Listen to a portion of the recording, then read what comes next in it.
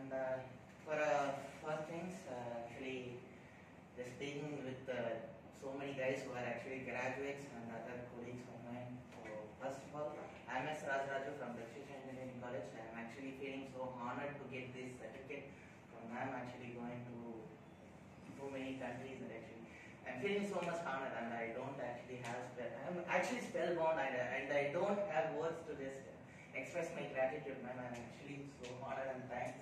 Really. Thank you so much. I'm here for you And after, uh, after this uh, whole session, I actually been a water bug and uh, I realized how uh, deep I was there in my thoughts as a water bug. So actually, thanks for that to just uh, leave me with this thing actually. Like, no, you are not a water bug. So this is you you have this much uh, sky uh, for you to explore, and there's so many space to just explore.